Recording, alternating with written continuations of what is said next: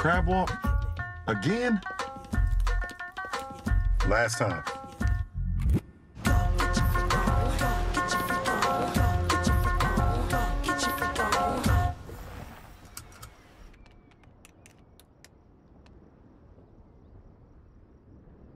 Let's try something different.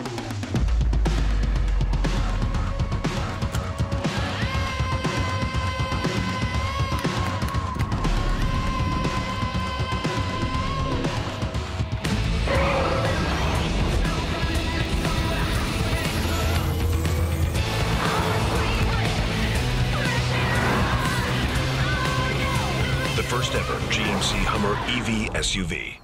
Let me guess. Want to do that again? It's one electrifying SUV